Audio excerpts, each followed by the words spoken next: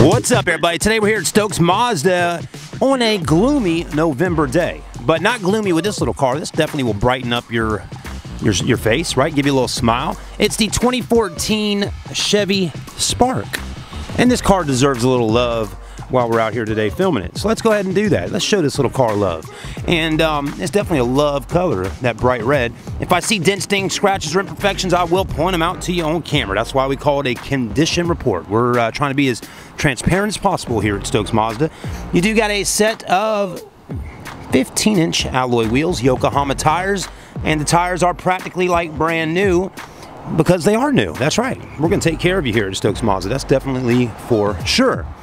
Front end's looking good for the most part. I do see a couple little issues here or there, like uh, like this is broke right there. You got some something going on inside that headlight where it's broken. So obviously at some point this car had to have the bumper repainted because it's got a little damage up there. You, can't, from a distance, you can't tell too much, but when you get close, you can see things like that. So just want to point them out to you on camera. Um, it is a four-door, it's a four-door car. Yeah, it's not a big car. It's a hatchback they, I guess they would call this a sport compact car, the Chevy Spark. But one thing you will know about the Chevy Spark is if you're looking to get good fuel economy, this car gets over 38 mile per gallon on fuel. So not bad there on that. Let's take a look at the uh, interior real quickly. Other than uh, what we saw on the front, the exterior of the car is in pretty decent shape. I do see here how this is kind of peeling up a little bit right there. But you know, again, it's a little bit older. It's 2014. Does have power windows, power door locks. Uh, it's got like a uh, cloth slash uh, vinyl seat inside. Pretty clean on the interior. Automatic transmission. There's your speedometer and all that good stuff.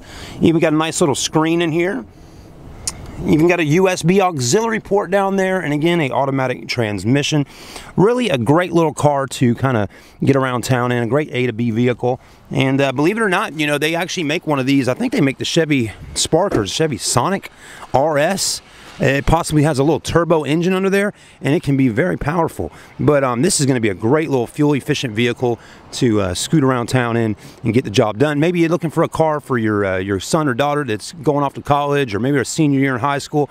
This is one of those cars you can finance with a really low payment, or just pay out cash for it. I mean, it's not going to be a whole lot. If you're interested in more detailed information on this car, make sure you visit StokesMazdaUSA.com. Thanks for watching, everybody. We'll see you soon.